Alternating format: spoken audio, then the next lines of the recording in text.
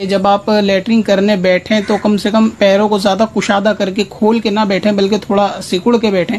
खास तौर से खातन के उनके आगे और पीछे के दोनों मकाम बनस्बत मर्द के ज़्यादा बड़े होते हैं। तो ऐसे में पानी लेते वक्त, इस्तिंजा करते वक्त उनको ज़्यादा एहतियात की हाजत है कि इस्तिंजे में ऊपर को सांस ना लें, छोटे इस्तिंजे में भी, बड़े इस्तिंजे में भी। और इसमें करना ही चाहिए, जब आप इस्तिंजा करने के लिए बैठे, यानी शुरू करें तो उस वक्त सांस ऊपर लेकर सांस को रोके और उसके बाद इस्तिंजा करें और उसके बाद धीरे धीरे सांस को छोड़ दें।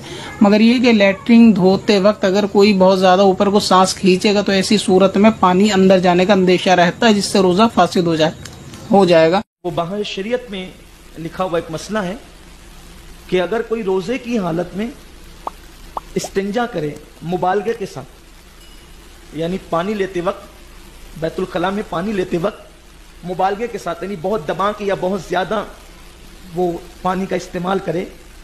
और पानी ऐसी जगह पहुँच जाए जहाँ पर अमल देते वक्त हुक्ना रखा जाता है। वो आमतौर पे डॉक्टर ऑपरेशन करते हैं ना तो वो एनिमा देते हैं तो वो कहाँ रखते हैं उसका सिरा? तो अगर वहाँ रखने तक हुक्ना रखने की जगह तक पानी पहुँच जाए तो रोज़ा टूट जाता है। उस्मान भाई मरकज रौली लाहौर से इस्तंजा करने की कोई एहतियात है क्या रोज़े रोज़ादार के लिए?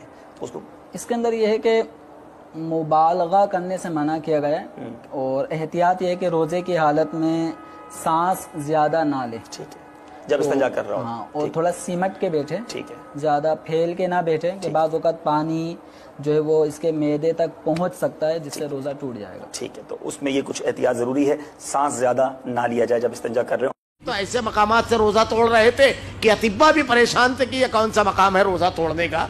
यानी कोई कसाए हाजत के लिए जा रहा है तो अल्लाह के अल्लाह ने निज़ाम बनाया वहाँ इखराज का। इंजमाम का निज़ाम नहीं है कि वहाँ कुछ जाए। तो ये जहालत है। अल्लाह के नबी ने जिन चीज़ों के बारे में बयान फरमाया है कि इससे रोज़ा टूटता है, उन्हीं चीज़ों से टूटेगा और जिन चीज़ों के बारे में कहा है कि यह किया जा सकता है, उसकी इजाज़त है, आप उसको कर सकते